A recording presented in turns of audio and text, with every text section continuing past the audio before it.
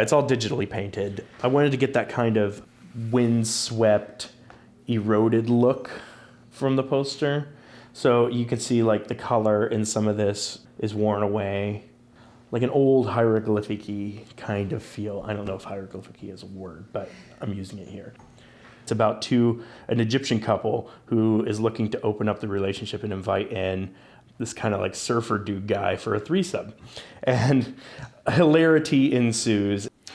I immediately thought of hieroglyphics because I, I liked how flat the figures appeared, and I wanted to kind of put those figures in weird sexual positions, drawing inspiration from the Kama Sutra. Each corner has like references to something else that happens in the play to keep the person there. And then at the bottom was kind of a, a hint at the revolt. So I wanted, I wanted to leave that little question. I like to stay on pencil and paper for as long as possible without putting anything into the computer uh, until kind of like the last stage. When designing this, I, I thought of like, okay, what elements can I pull out of this to create a web banner, a postcard, et cetera, et cetera.